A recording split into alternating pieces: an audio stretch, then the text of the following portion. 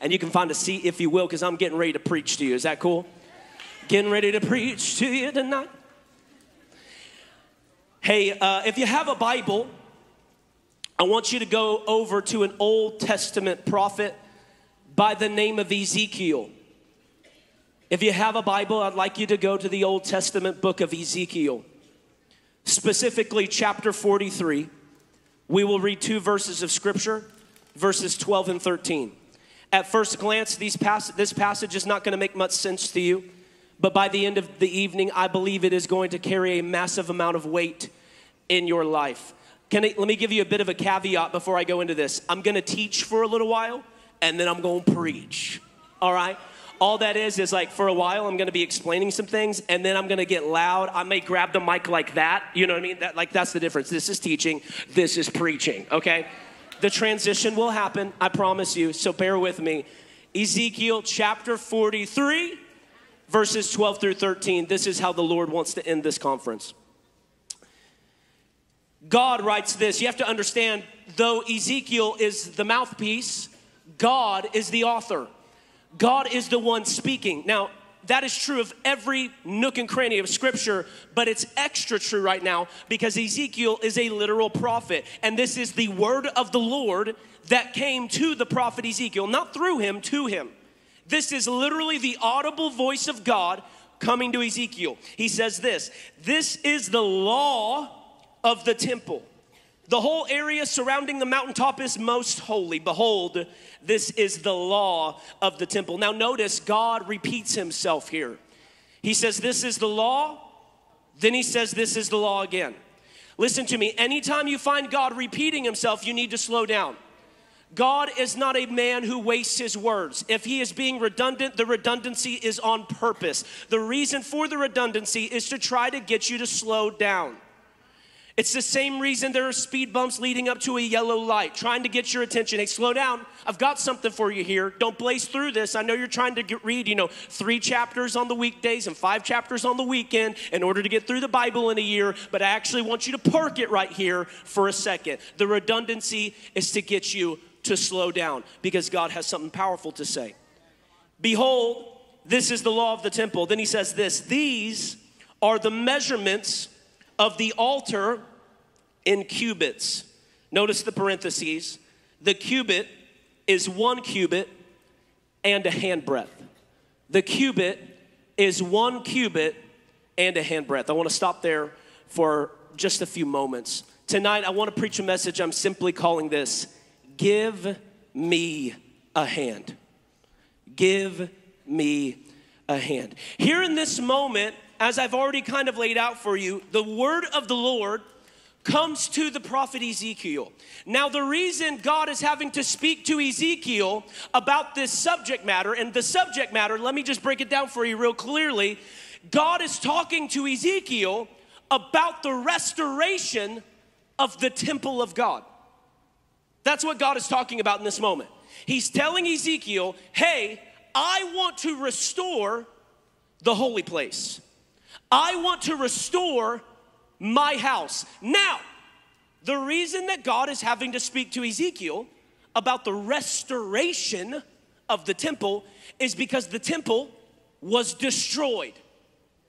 It was destroyed. In 586 BC, Babylon pillaged Jerusalem. And upon pillaging, ransacking Jerusalem, they ransacked, desecrated, and demolished the temple of God. This is a historical fact. Babylon, led by King Nebuchadnezzar, came through and pillaged Jerusalem and desecrated and demolished the temple of God. And so, after the enemy of the people of God demolished the temple of God, God finds a man of God and begins to speak to him and say, This, I want to restore what the enemy destroyed. That's what he's saying. I want to restore what the enemy destroyed. And if I had time tonight, listen to me, I would help you see how Babylon, this wicked and perverse nation, this wicked and perverse kingdom, is almost a mirror image of the world we live in today. Babylon is but a type and a shadow, it's a mirror portrait of the culture of our world today. What this is saying is the world has crept into the church and it's choking it. That, that's what God has to say. And it seems like the world has won. It seems like Babylon has had the upper hand. It seems like Babylon has the final say. And then God says, Actually, the story isn't over until I say it's over, and I've decided to speak. I want to restore the temple of God. And can I just prophesy for a second? I feel this like a fire in my bones. I believe that God in this day is looking for some Ezekiels who he can entrust some blueprints to as to how to restore the holy things, as to how to bring the glory back to where we don't just have good CCM songs that make it onto the radio, but we see the kingdom of darkness emptied and the kingdom of light advancing at an astronomical rate. I believe God is looking for Ezekiel in this day and age. God is looking for some young people he can entrust with blueprints on how to restore what seems lost. I'm not here for good church. I love church. I'm about as churchy as they come. Don't let the tattoos fool you. I had to get tattoos so I look like I had a testimony. That's a true story. My wife's like, yo, he's a square. Like, she's like, he's, yeah, I'm an old soul. But I believe, listen to me, God isn't interested in good church. God isn't interested in just having a little goosebump, and I'm all for the goosebump, but God is interested in us encountering the holy things. God is interested in encountering a people. God is interested in touching a people so severely. He touches them so severely, they literally never walk the same way ever again. I believe God's looking to touch someone like He did Jacob, to where you literally walk with a limp the rest of your life. And when people ask why you limp, it's, I, I, God touched me. You literally have to blame God for the way that you walk. God wants to encounter someone so severely, only He can get the glory. And I believe that's what's gonna happen tonight. God is looking for some Ezekiels He can speak words of restoration to.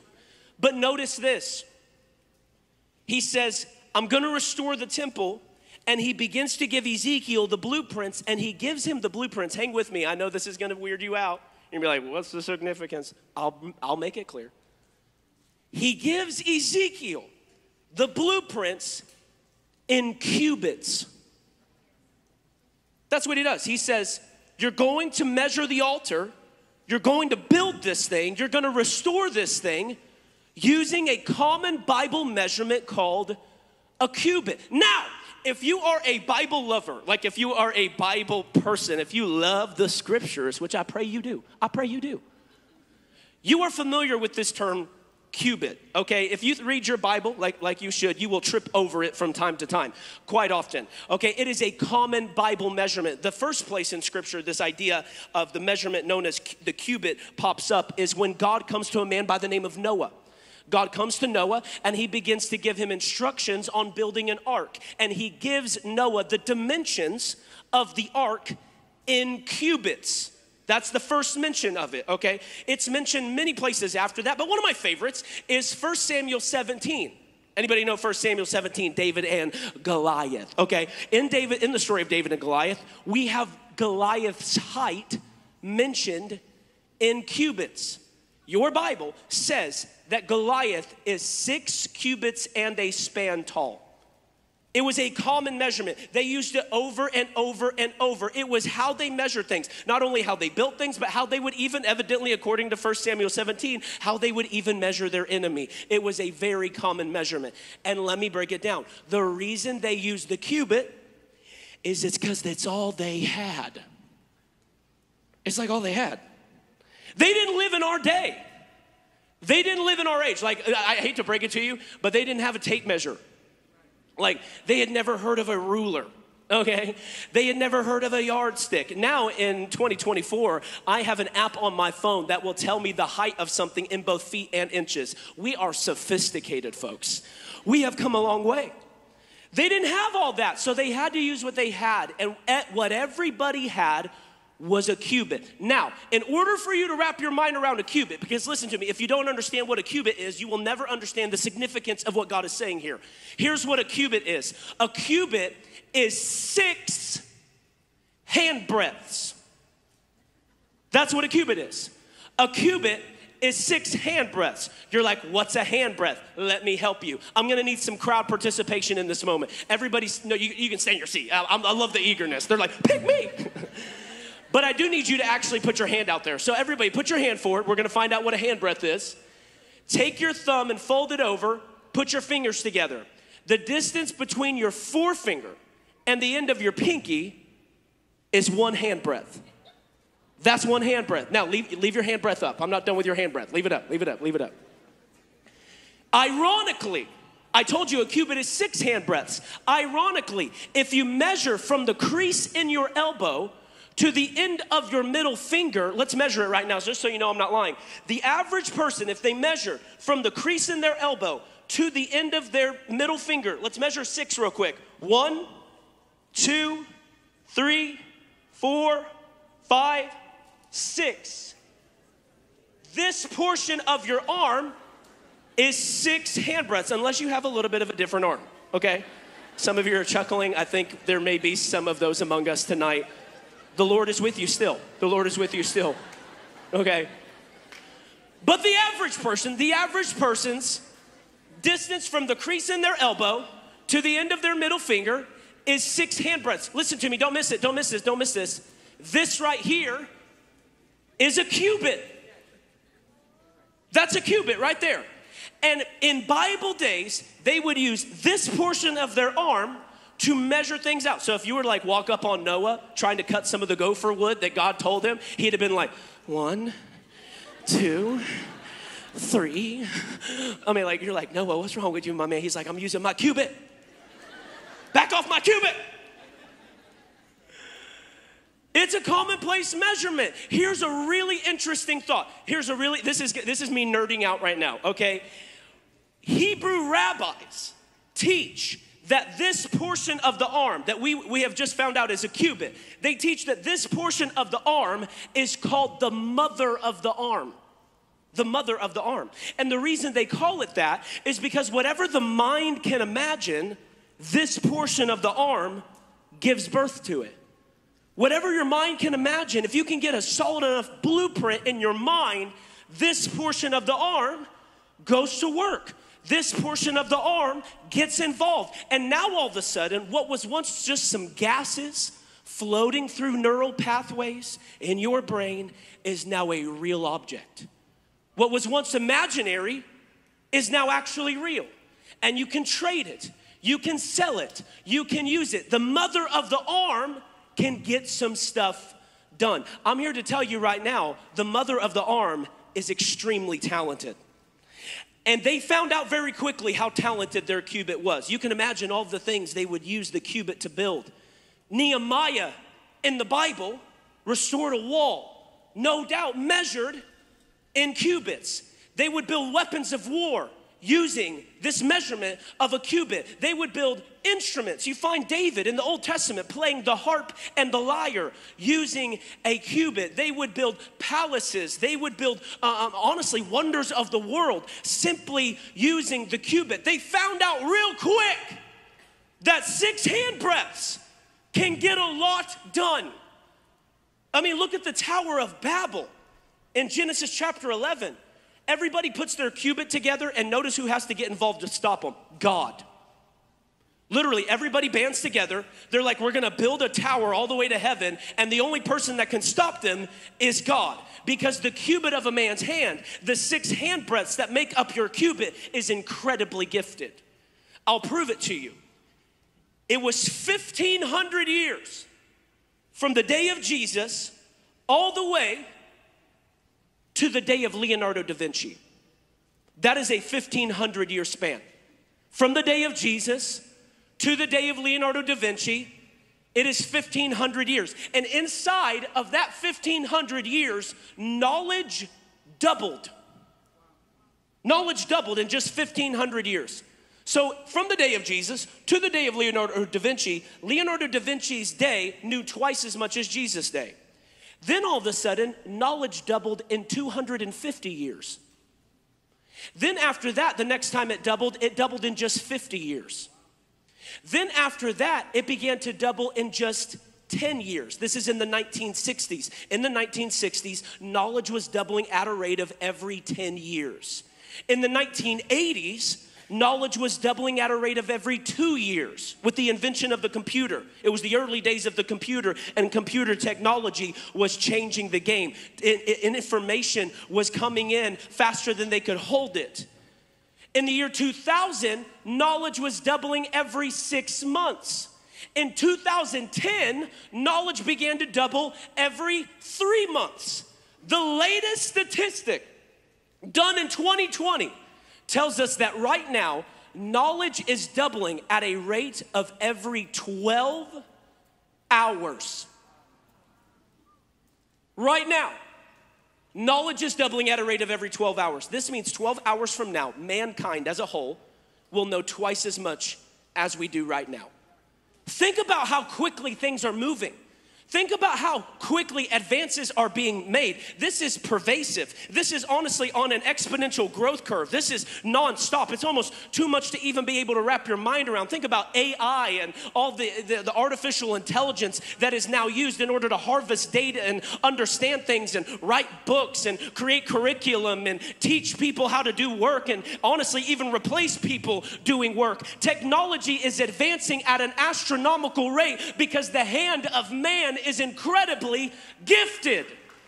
The hand of man is incredibly gifted. I don't know if you travel much outside of the Rio Grande Valley, but I have the privilege of getting to travel a little bit. And one of the places I have traveled to was Dubai. I've been to Dubai. You know the, the old video, Dubai was lit. Y'all ever, you're too young for that. Okay, never mind. All the millennials got it. All the millennials got it. Gen Z's like, what are you talking about? That's tough, twin. That's tough, twin. That's a new one I learned. I've been to Dubai, is what I'm trying to say. And in Dubai, listen to me, in Dubai, they have a building called the Burj Khalifa. The Burj Khalifa is the tallest building on earth. It stretches half a mile into the sky. I remember standing in Dubai at the foot of the Burj Khalifa and thinking, man made that. Like human Burj Khalifa. Not only was I impressed by the Burj Khalifa, do you know how long it took me to get to Dubai? 14 hours.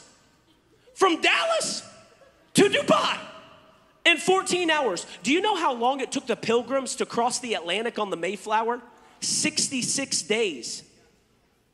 It took the pilgrims 66 days to get across the Atlantic. It took me 14 hours, not to cross the Atlantic, to cross the globe get on the other side of the world. What I'm trying to tell you is man is incredibly gifted. Where man finds a problem, man will find an answer using the six hand breadths of his cubit. The cubit of a man's hand, the mother of the arm, is incredibly gifted. And you know why? It's because man is made in the image of God. That's why. It's because man is made in the image of a creative and very gifted God. But here's the problem it's not too long after all of a sudden you find out you've got some gifts. You find out you got a little talent. You find out that the six hand breadths that make up the cubit of your arm can solve a problem or two for you. That all of a sudden the gift God gave you begins to wean you off of His hand. All of a sudden, the six hand breadths that make up the cubit of your arm, the mother of your arm, begin to slowly but surely wean you off of believing you are in need of the hand of the Lord. And this right here is exactly where I want to be because listen to me, I brought you to Ezekiel 43. And in Ezekiel 43, God comes to a man by the name of Ezekiel and he says, I need you to rebuild the altar, my man. I need you to rebuild the temple. And then all of a sudden, God flips the script.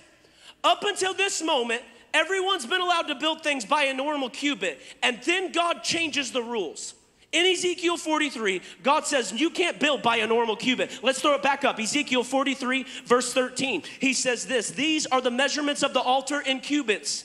The cubit is one cubit and one more handbreadth. God is saying this Everything else you can build with your six hand breaths.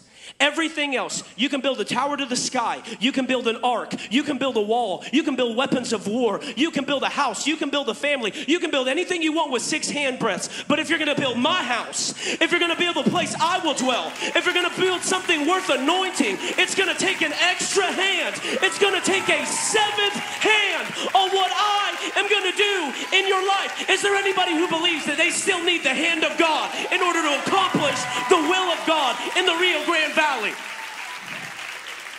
I still believe we need the hand of God. Listen to me, let me break this down. Six, theologically, is the number that represents man. Six is the number of man. And listen to me, it's not a favorable number for man. It does not speak well of man. This is why the number for the Antichrist is 666. He's carnal to the bone, flesh to the bone. No spirit about it. Six is the number of man, but I told you this is the seventh hand. You know what seven theologically means? It is a number that represents two things completion and perfection. Completion and perfection. Listen to me, it is not a quantum leap from six to seven, but it makes all the difference in the world. Some of you are like, man, I'm pretty gifted. I've got a little pop up shop going for me. My YouTube channel's popping off. I've got the drip. I've got the girl. Listen, you ain't nothing until that seventh hand gets on your business venture. You ain't nothing until that seventh hand gets on that relationship. Your ministry's nothing until the seventh hand. Water's getting slain in the spirit. Listen to me, I came all the way here tonight to tell you you need the hand of God. Like, if you're gonna live this thing out, if you're gonna leave this conference and it not just be a sweet little memory that you question the legitimacy of for the rest of your life, you need the hand of God. If you're actually gonna walk this thing out, can I tell you right now, I don't stand on this stage as a gifted orator or a gifted speaker or a gifted communicator. You know why I'm able to stand on this stage? God, in His sovereignty, said, you know what? Amen. I'll put my hand on it. I'm about as gifted as that right there. I would buckle under the weight. I'd never be able to stand on a platform God's called me to stand on. Lord, thank you for that. But it's His hand. I get people asking me all the time, and I, I don't want to talk about this because it's not my heart, but I do want to make it clear. I get people asking me all the time, Keenan, how do you do the social media thing? Like, you need to teach me. And I'm like, bro, I don't know what to teach you. It's the anointing. Like, I don't, there's nothing I'm doing that you can copy and paste except like fast and, and pray and, and obey and, and, and, like lay stuff down when God asks you to lay stuff down and post things that you think, oh, this would never work, but it's true and it's Bible, and all of a sudden God just, He puts His hand on it. I'm here to tell you, God wants to give you a life that the only way people can copy and paste it is if they get under the same hand you got under, and it's the hand of God.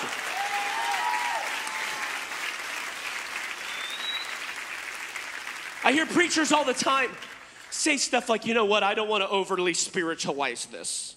I don't want to overly spiritualize it. I came to the Rio Grande Valley on a mission to spiritualize this thing. Listen to me.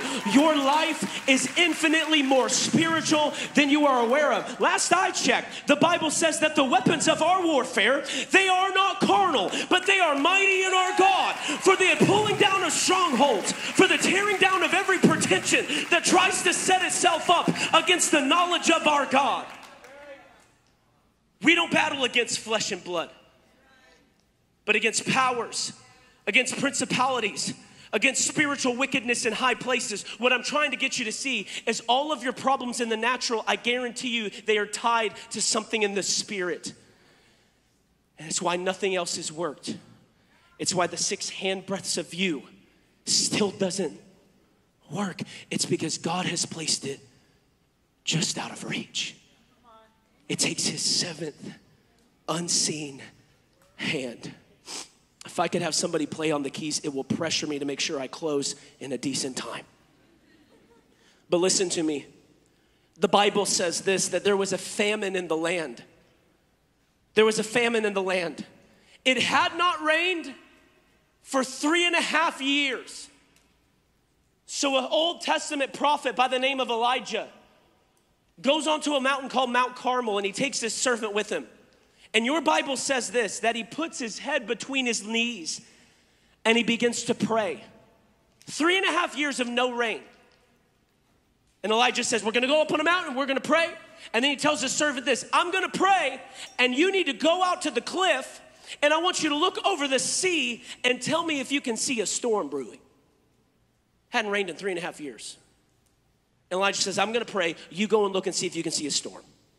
So Elijah's praying, and his servant comes back, and Elijah says, What did you see? And the servant says, I, I, I, I, I saw nothing. Elijah says, Go back. And all of a sudden, the servant goes back and he looks over the cliff, he looks out over the sea, and he sees nothing. So he comes back and he tells Elijah, Hey, Elijah, I, I saw nothing. And Elijah says, Go back. Tell me what you see. Goes a third time, sees nothing. Elijah says, Go again. He goes and looks again, sees nothing. Comes back. Elijah says, Go again. He goes a fourth time, a fifth time, a sixth time.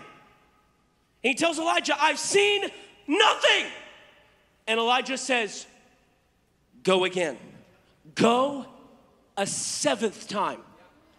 And this is what 1 Kings 18:44 says. 1 Kings 18:44 says this. Finally, the seventh time, his servant told him, I saw a cloud about the size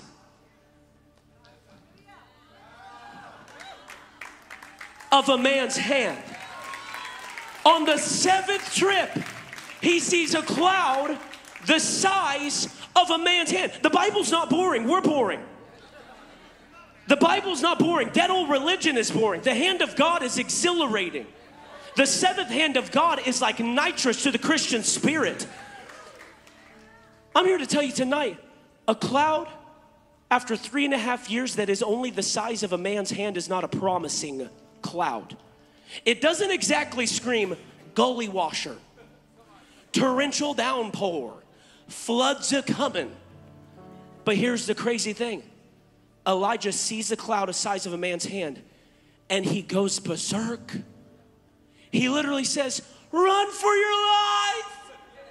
And your Bible says this that Elijah, after seeing a cloud the size of a man's hand, the seventh time, he outran the horses of Ahab on foot. That's what your Bible says. That Elijah on foot outran the horses and chariots of Ahab. That literally an evil, maniacal, backslidden king by the name of Ahab could not outrun with horses this man who got a glimpse of the seventh hand of God, who got a glimpse of the anointing of God, who got a glimpse of the touch of God. Woo! You know what this tells me? You know what theologians believe about this moment? Theologians believe that the horses of Ahab represent prophetically what Revelation calls the horses of the apocalypse. Go read Revelation, it talks about the horses of the apocalypse. You know what this is? It's a foreshadowing of the last days. It's a foreshadowing of the end times. And I came here to put you on notice. I wanted to prophesy to you tonight that the man who has had a glimpse of the seventh hand won't be subject to the end times, but he will outrun the end times. When the hand of God gets on you, the end times aren't happening to you, you begin to happen to the end times. We need a generation who doesn't just know how to sing and doesn't just know how to preach and doesn't just wear the cool Christian merch, but they've encountered the seventh hand of God. That that seventh unseen hand gets on you and it convinces you that if God be for you, who can be against you? I feel this in my spirit. I didn't even have this plan. But you know what happens right after that moment? Elijah sees. He's just, God responded in fire, burnt up an altar that Elijah had dumped water on. Water and fire do not mix. God shows up. Then Elijah kills the 400 prophets of Baal. Then he prays, rain shows up after three and a half year drought. Then he outruns the horses of Ahab. And you know what? After all that, after seeing the hand of God move wildly, a little queen by the name of Jezebel her spirit is at work in this day and age today. Spirit of Jezebel. She doesn't like that Elijah's got the hand of God on his life. And she says this Cursed be me if by this time tomorrow I don't kill Elijah. She puts out this decree I'm gonna kill him after seeing the hand of God on his life. And you know what happens? It's like Elijah completely forgets the hand of God is on his life. He goes into a deep depression. She's gonna kill me. Dude, you just saw the hand of God. You outran horses on foot, and now you're afraid that Jezebel's gonna kill you? But here's the cool thing though Elijah forgot the hand of God, it never caused God to remove his hand. And here's how I know. Here's how I know. Hold the clap because it's about to be clappable. Here's how I know. Elijah is in a very elite group in the Bible. It's, it, it's so elite. It's not so elite, but it's, it's elite in the fact that Jesus isn't even included in this group. You know what Elijah, a group Elijah's in? Two people who never died. She prophesies, Cursed be me if by this time tomorrow I don't kill you. To the one man who literally never died. God took him. I'm here to tell you that the word of the enemy won't just come to pass how you think it will. It's not coming to pass at all because the hand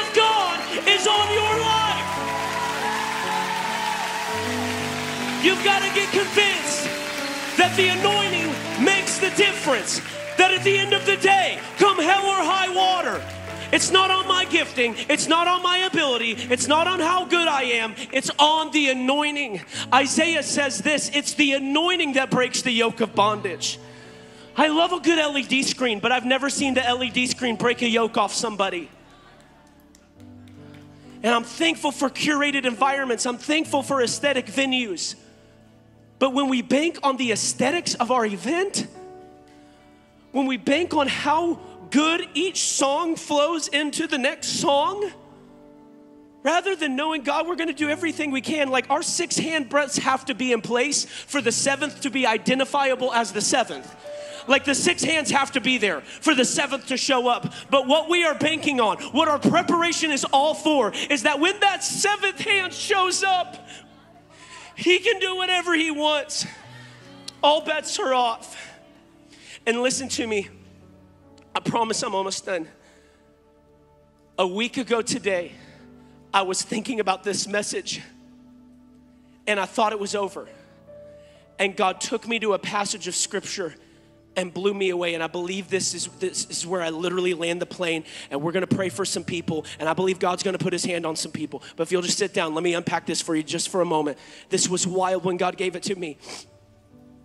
I said, God, I feel you stirring. I feel like this sermon's done, but I feel like you're also telling me it's not. And God says the last nugget of the sermon is found in Luke chapter 7. Before I throw it up, before I throw it up, let me tell you what Luke chapter 7 says. If you were to jump into the literal Bible, find yourself within the pages of Scripture, and you were to travel over to Luke 7, what you would walk into is a village called Nain. You would walk into a village by the name of Nain, and, and particularly in chapter 7, you would see a woman walking, weeping hysterically. And behind this woman, there is a funeral procession. There's a casket following this this woman, in the casket lies her son's dead corpse. Her son has died, and they're carrying his lifeless body to an early grave. But here's the interesting thing about this woman she's not just any old woman. The Bible calls her the widow of Nain, which means she's lost her son, but at one point she also lost her husband.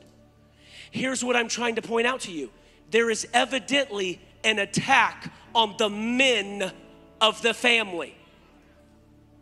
The same is true today. There's an attack on biblical masculinity. There is an attack on men being able to actually stand up and be men. God is after, er, God, excuse me, God is after protecting the head of the home, and that's why Satan is interested in annihilating the head of the home. Notice this what got the dad eventually got the boy. We don't even know what it is. But what got the dad eventually got the boy. Listen to me. I'm speaking to some current fathers, but I'm also prophesying to some one day fathers. What you tolerate, your children will walk in. Gener- one generation's complacency becomes the next generation's captivity. If fathers don't stand up in this day and in this age, your children will suffer the consequences. And some of you tonight, the devil's got his hands around your jugular because of something your dad passed down to you. I'm talking to some men tonight.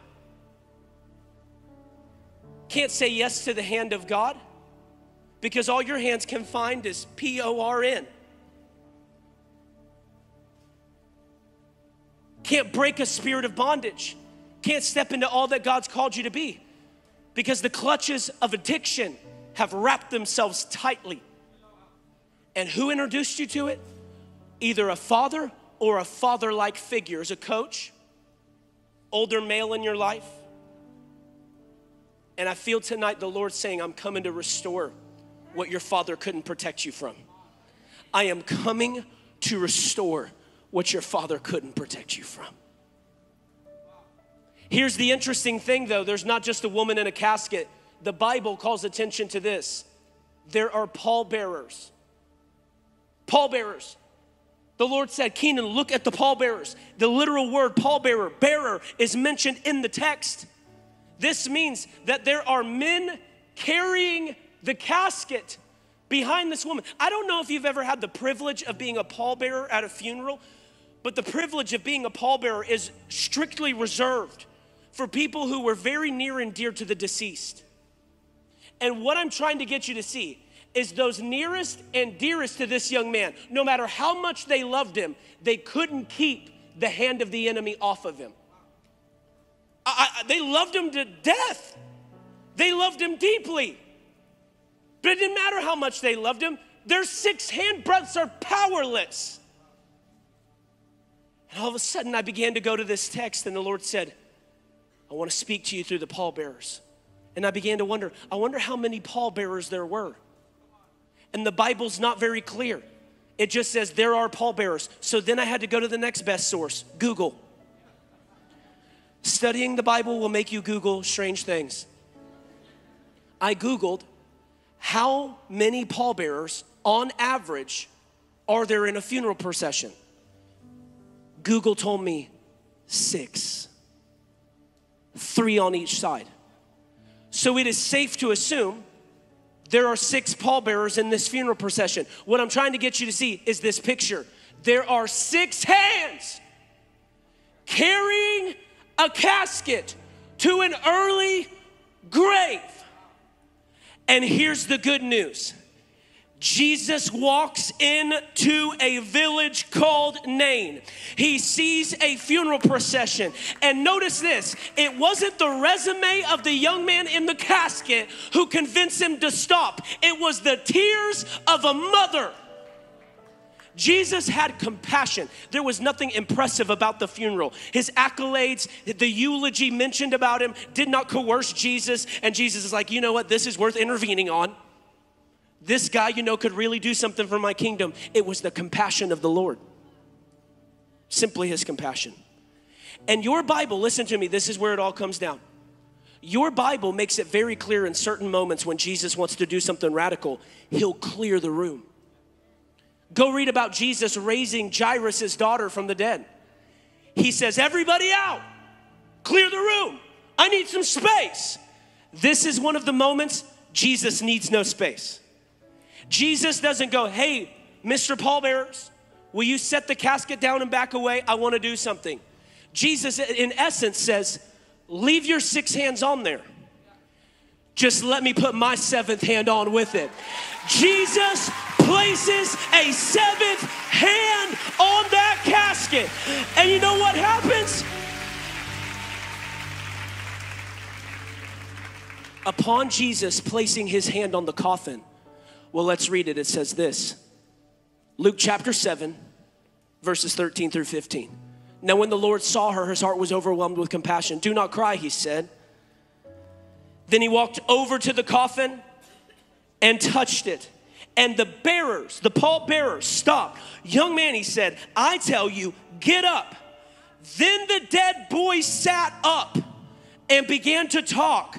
Listen to this. And Jesus gave him back. And Jesus gave him to his mother. You know what's going to bring a generation back? It's the seventh hand of God. It's when the hand of the Lord gets on a generation.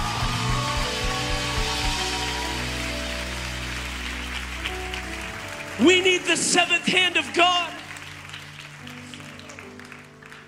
And there are some of you tonight, you're not Ezekiel trying to build something for God. You're not even Elijah trying to call down rain and bring a miracle. You're a young man or a young woman who feels like they are in a coffin. You feel like your story's over. And some of I feel this by the Spirit of the Lord. Some of you tonight, this was your last ditch effort. I know God has moved wildly, but for some reason, each night, though you were impressed by the production and the performance and you saw people getting touched, it never got through to you. And I feel the tender touch of God coming upon you tonight, saying it's not about you revving yourself up. It's not about working yourself into a Christian frenzy. It's about allowing my hand. It's allowing the anointing. Can I tell you today, this is old, but we still need the oil in the church. We need the oil. I get to travel a lot of places, and it is very rare that a church has oil on hand when I ask. How sad is that? I think it's indicative of the predicament we are in an oilless church. We've got cool cameras, we've got cool lights, and I'm all about the cameras and I'm all about the lights. I want to leverage technology in the direction of the gospel. I want to use everything. I want the six hand breadths to be there. But what I am banking on is that the seventh hand is going to show up.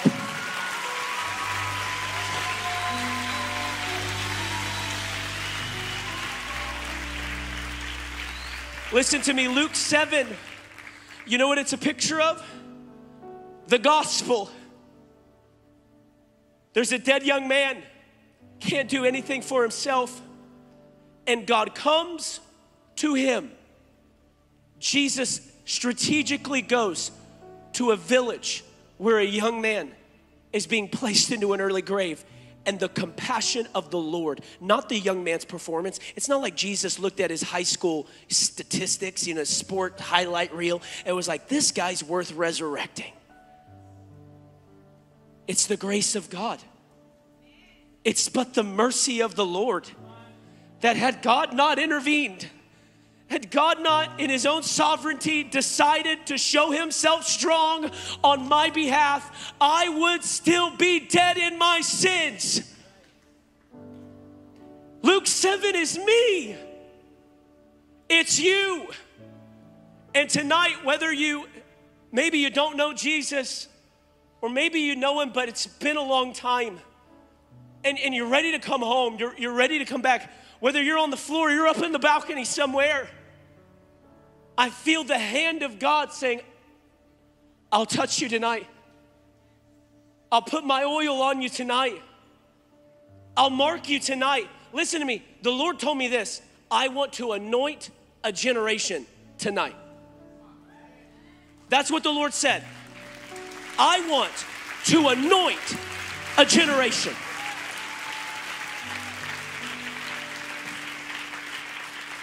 I carry a little vial of oil everywhere I go.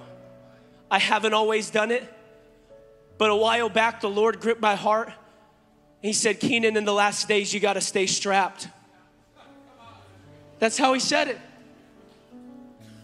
Keenan, you never know. I don't, you don't just need to carry oil into church services. You need to carry oil into Walmart. You need to carry your oil into education facilities. You need to carry oil into coffee shop meetings. You need to carry oil as you're just going across town in your car. How many lives have been cut too short by a simple drive across town? And I'm not acting like our faith is in some oil. My faith is not in this oil. My faith is in the one who put his oil on me. And the Lord said tonight, Come on. The Lord said, I want to anoint a generation. I want to end this conference by anointing a generation. Listen to me with your head bowed and your eyes closed, just for a moment of privacy and concentration. If you know that I am speaking to you tonight, if you know that your six hands are not enough, that the mother of your arm, that the gift, the talent, the ability that God's given you, some of you are academically off the charts, but it's still not enough. Incredibly good looking, but it's still not enough. Come from a very affluent family, and it's still not enough. And some of you, you're on the polar opposite end of the spectrum. You come from the sticks, and it's not enough. You make horrible grades, and it's not enough. You get cut from every team, and it's not enough. Here's the good news the oil is the great equalizer. The oil makes the difference. The hand of God makes the difference. And with your head bowed and eyes closed, if you would say, Keenan, you're preaching to me tonight, I need the seventh hand of God. I need the tender touch of God. I need the anointing. If you would say, Keenan, I want God to literally anoint me afresh and anew tonight. Some of you, maybe you've been anointed in the past, but you say, Keenan, I need it afresh and anew. I want you to raise your hand right now so I know who I'm praying for.